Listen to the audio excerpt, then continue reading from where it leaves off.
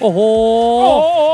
เจนนี่กรีดเจนนี่กรีดอยู่ในรถเจนนี่กูตายหรือยังเจนนี่โร้องเพลงไม่ได้นะเพราะกางเกงเปียกทำไงอะอ้าวเจนนี่เยี่ยวแตกแล้วครับตอนนี้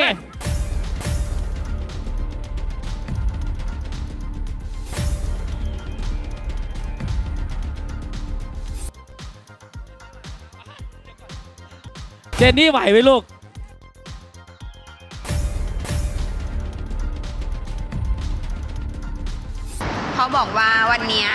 มีรถดริฟต์ในสนามอะสองคัน ซึ่งคันแรกอะ คุณต้าอู่จะเป็นคนนั่ง แต่อีกคันอะ มันยังไม่มี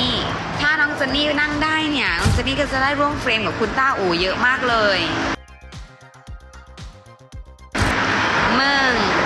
เท่านั้นแหละ คนขับไม่สนใจฉันเลยร้องโอ้ไม่คอดโอ้ไม่คอดโอ้ไม่คอดอยู่อะฉันบอกเลยว่าเป็นประสบการณ์ที่หา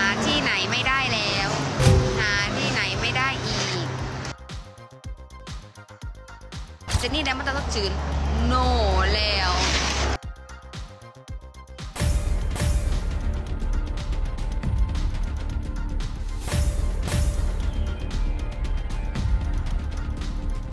วายทำเอาใจวาบกันเลยทีเดียวกับคุณผู้ชม เมื่อล่าสุด 3 สิงหาคมที่ผ่านมาโลกโซเชียลแห่แชร์คลิปของสาวเจนนี่รัชนกสุวรรณเกตหรือว่าเจนนี่ได้หมดถ้าสดชื่นขณะที่ลงมาจากรถแข่งและเจ้าตัวถึงกับเข่าอ่อนค่ะ หลังจากเปิดประสบการณ์สุดท้าทายให้ตัวเองด้วยการนั่งรถ drift ในรอบโชว์พิเศษ GR Drift Battle ที่งาน Toyota g a z o o Racing Thailand 2024 นั่นเองค่ะ ซึ่งในงานดังกล่าวนะคะเจ้าตัวไปในนามศิลปินที่มอบความสนุกที่มีทั้งซานิต้าอู แล้วก็อินฟลูเอนเซอร์ดังนะคะ ส่วนคนดังนะคะที่ลงสนามในฐานะนักแข่งรถ ก็มีทั้งมีย่าพิชชาทองเจือนะคะป้ายปายโอริโอค่ะ ปังปอนอัครวุฒินั่นเอง ขณะที่ช่วงหนึ่งของความสนุกนะคะสาวเจนนี่ก็ได้ถูกเชิญชวนให้ไปนั่งรถ drift ค่ะ ที่โชว์ GR Drift Battle นะคะ โดยมีคนขับคือคุณปอนเดชพล โตยิ่งเจริญ นักแข่งดิฟของเมืองไทย ที่มีฝีมือไปไกลถึงระดับโลกเลยทีเดียว ซึ่งก่อนการโชว์แบบจัดเต็มนะคะพิธีกรก็ได้วิ่งมาถามว่าเจนนี่ได้หมดถ้าสดชื่นทำไมหนูไม่สดชื่นเลยอะด้านเจนนี่นะคะก็ได้ให้สัมภาษณ์กับพิธีกรว่าตอนแรกเนี่ยเขาบอกว่าแค่ลองเครื่อง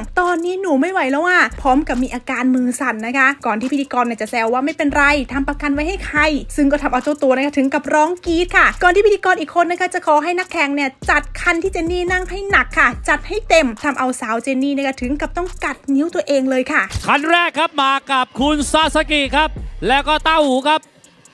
และก็นะครับพี่เป้ครับนะ กับเจนนี่ได้หมดถ้าสดชื่น และนะครับคุณปอนกับธนาคารคุณเจนนี่ เจนนี่ได้หมดถ้าสดชื่นครับ ดูหน้าเจนนี่ดีกว่า เจนนี่ทำไมหนูไม่สดชื่นเลยลูกเขาบอกว่าเมื่อกี้เขาบอกเขาแค่ลองเครื่องอะแล้วมือมันสั่นด้วยเออหนูไม่ไหวแล้วอะโอ้ไม่เป็นไรแล้วทำประกันไว้ให้ใคร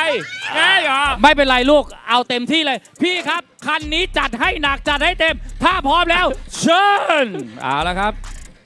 เอาเลยฮะคุณเจนนี่บอกกลัวไม่ต้องกลัวฮะปลอดภัยแน่นอนนะครับผมนะฮะจากนั้นนะคะการโชว์ก็เริ่มต้นขึ้นแบบชนิดที่ดิฟกันสุดเหวียงค่ะ และเมื่อกล้องนะคะฉายภาพมาที่หน้าของสาวเจนนี่ ก็เห็นว่าเจ้าตัวนะคะมีอาการตื่นเต้นอย่างหนักค่ะ พร้อมกับร้องกรีดตลอดการโชว์ที่หวาดเสียวหัวใจสุดๆนะคะด้านพิธีกรก็ยิ่งแซวยิ่งบอกเจนนี่ตูเนี่ยตายหรือยังเดี๋ยวไปร้องเพลงไม่ได้นะ เพราะว่ากางเกงเปียกเยี่ยวแตกแล้วครับ แล้วเรียนตอนไหนไปดิฟไปดิฟรถอยู่งั้นดิอะฟทั้งวันมาแล้วนี่ไงเห็นไหมอ่า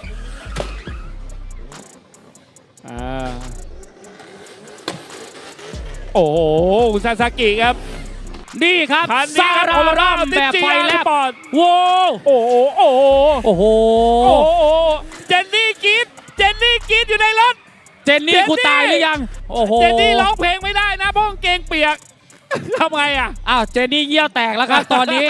โอ้ยเจนนี่กูอยากเห็นหน้าเจนนี่จังเลยวะเออพี่ปอน พี่ปอนของเราครับ กับ พี่เป้ครับ โอ้โหเอาละพี่ปอนพี่เป้ตอนนี้ก็คือคันแรกนะครับนะวิ่งกันก่อนครับ โอ้ยังมันเอาแล้วตามแล้ว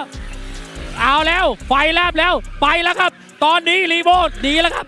ต่อมานะคะเมื่อโชว์จบค่ะทุกคนต่างลงมาจากรถขณะที่สาวเจนนี่ยังคงต้องนั่งหอบหายใจแรงค่ะ คล้ายจะวิงเวียนศีรษะ จากนั้นนะคะเมื่อต้องลงมาจากรถค่ะ ก็ถึงกับขาอ่อนเข่าซุดกลางสนามนะคะ ยืนทรงตัวแทบไม่ได้นะคะ เรียกได้ว่าล้มแล้วล้มอีกค่ะ จนพิธีกรและทีมงานนะคะต้องเข้ามาช่วยพยุงกันเลยทีเดียว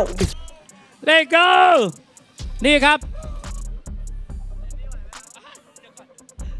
เจนนี่ไหวไหมลูก จนนี่บอกว่า พี่คะหนูไม่ไหวแล้ว หนูไม่ไหวจริง ๆ ค่ะ ได้ไหมลูกพวกเรามาดูเจนนี่ เจนนี่เกือบขี้แตกแล้ว แต่โชคดีมีชัย ที่เจนนี่ยังรอดชีวิตอยู่ เอาละครับ What's up here we go เจนนี่เอ้าตายแล้วน้องฉัน โอเคครับทุกคนครับ ขณะที่ Facebook ของเจนนี่นะคะได้โพสต์ภาพคู่กับต้าอูพิทยานะคะ พี่ใหญ่แห่งวง last one แล้วก็เขียนแคปชั่นที่ว่า เมื่อทีมงานบอกว่าจะให้ถ่ายรูปกับพี่ต้าอู แต่ต้องแลกด้วยการนั่งรถ drift โชว์คนละคันกับพี่ต้าอู oh my god งือตื่นเต้นสุดพร้อมอีโมจิหัวเราะน้ำตาไหลค่ะ ด้าน Facebook ของป้ายปายโอริโอนะคะก็ได้โพสต์ภาพของตนเองกับสาวเจนนี่แท็กมาถึงเจ้าตัว พร้อมเขียนแคปชั่นถามว่าเป็นไงบ้างนะวันนี้พร้อมอีโมจิหัวเราะหนักมากค่ะ ซึ่งสาวเจนนี่นะคะก็ได้เข้ามาตอบใต้คอมเมนต์ว่า คุณปายฉันบอกเลยว่านี่จะเป็นครั้งเดียวที่ฉันเนี่ยนั่งรถ drift ฉันจะไม่นั่งอีกแล้ว ไหนคุณบอกว่ามันไม่มีอะไร ทั้งที่มันเนี่ยรุนแรงขนาดนั้น คุณก็ยังปล่อยฉันไปนั่งได้ ยังไงคุณปายรับผิดชอบด้วย พร้อมอีโมจิหัวราะน้ำตาไหลค่ะ ซึ่งต่อมานะคะสาวเจนนี่ก็ได้ออกมาไลฟ์สดสั้นๆค่ะเล่าคำๆถึงที่มาที่ไป พร้อมกับเปิดใจเมื่อได้สัมผัสประสบการณ์นั่งรถแข่งครั้งแรกค่ะ โดยเธอนะคะได้เล่าว่าตนมางานของโตโยต้าแล้วในบีฟเนี่ยก็ไม่มีหรอกว่าให้เจนนี่เนี่ยไปนั่งรถดิฟแต่อยู่ๆทีมงานบอกว่าวันนี้มีรถดิฟในสนามสองคัน คันแรกคือต้าอูนั่ง แต่อีกคันเนี่ยไม่มี ถ้าเจนนี่เนี่ยไปนั่งเจนนี่ก็จะได้ร่วมเฟรมกับต้าอูเนี่ยเยอะมากเท่านั้นแหละก็เลยตกลงปรงใจไปรถ drift เมื่อถามว่าน่ากลัวหรือเปล่า เพราะว่าตนเนี่ยเป็น panic เครื่องบินยังไม่นั่งเลยเขาก็บอกว่าไม่ได้น่ากลัวอะไรเลยเขา drift รถโชว์แบบเด็กๆ แบบน่ารักน่ารัก ตนก็ตอบตกลง แต่พอขึ้นรถไปปุ๊บสตาร์ทรถปั๊บเหยียบคันเร่งนะคะเหยียบทีเดียวเนี่ยแรงเลยค่ะ ตนก็ถามว่ามันจะแรงกว่านี้อีกไหมเขาก็บอกว่าอันนี้แค่ warm ทำเอาตกใจกันเลยนะคะ แล้วเมื่อตนถามว่าพี่ขับมานานหรือยังเขาก็บอกว่าพี่ขับมาสิบกว่าปีแล้ว พี่เป็นแชมป์ของญี่ปุ่นคำว่าแชมป์เนี่ยไม่ได้ทำให้ดีใจขึ้นเลยค่ะ ก็คือมางานของโตโยต้าแล้วใน brief เนี่ยก็ไม่มีหรอกนะว่าให้คุณเจนเนี่ยไปนั่งรถ drift ไม่มี แต่อยู่ดีๆเขาบอกว่าวันนี้มีรถ drift ในสนามอะสองคัน ซึ่งคันแรกอะ